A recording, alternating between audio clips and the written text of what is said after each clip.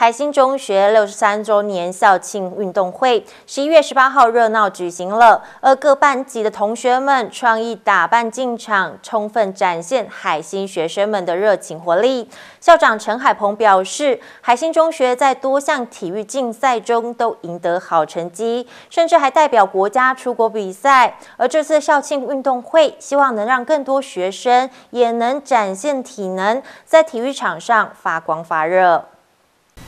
十一月十八号，艳阳高照，海星中学全体师生在运动场上挥洒汗水，展现活力。这是海星中学庆祝六十三周年举办的校庆运动会。校长陈海鹏表示，海星的运动校队在各项竞赛当中都赢得好成绩，甚至代表国家出国比赛。每年举办运动会，是希望让更多学生也可以发挥体能，在运动场上尽力展现自我。我们这一年，我们的孩子们在运动方面也有很多很好的表现。在呃篮球队第一次可以进到全国的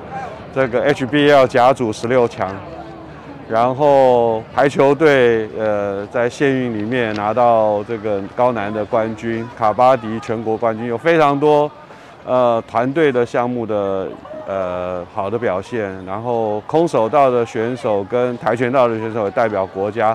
呃，出国去参加世界杯的比赛，但是都是一个非常孩子们非常努力的表现。那除了球队之外，我们希望其他的孩子也能够有在体育方面也有呃亮点被看到啊，所以我们举办这样的活动，让所有的孩子可以参与。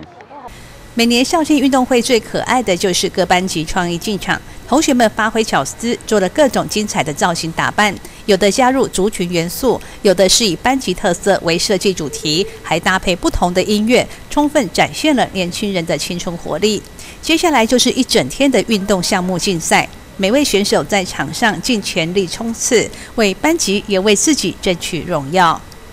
记者卢宇慧、新城乡报道。